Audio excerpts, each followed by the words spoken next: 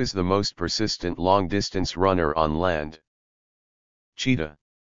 Ostrich. Guess again. You probably think the cheetah is the greatest runner on land. But it's not. The real long-distance champion is the horse. A cheetah hits 100 kilometers per hour and collapses after 20 seconds. A horse. It can run 40 to 50 km per hour for hours, and cover 150 km in one day, without engines, without brakes, just pure stamina. Why is it a monster of endurance?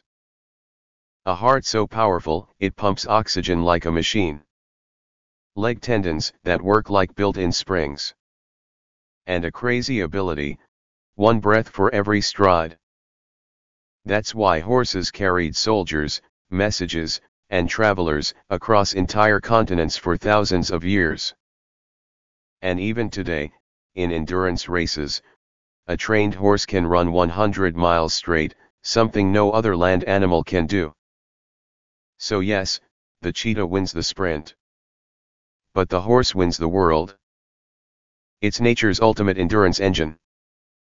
Next time you see a horse run. Remember you're watching the king of endurance.